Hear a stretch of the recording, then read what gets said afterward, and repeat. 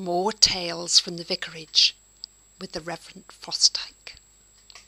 The, the Reverend Fosdyke had a wedding arranged, and he'd like to meet the couples beforehand. So he'd arranged a meeting, and they arrived.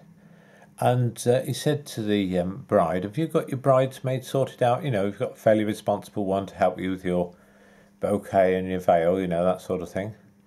Oh, yes, I've got that sorted out.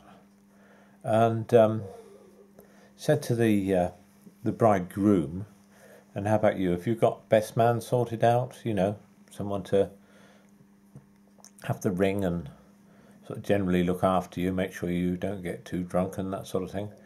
And the groom says to him, Well, I've got a slightly unusual request, Reverend Fosdyke. Um, now, my, uh, you know, I've got an Alsatian dog, and that dog has always been very close to me, and I'd really, really like for my Alsatian dog to be my best man. The Reverend Fosdyke said, No, I, I've never had a request like this.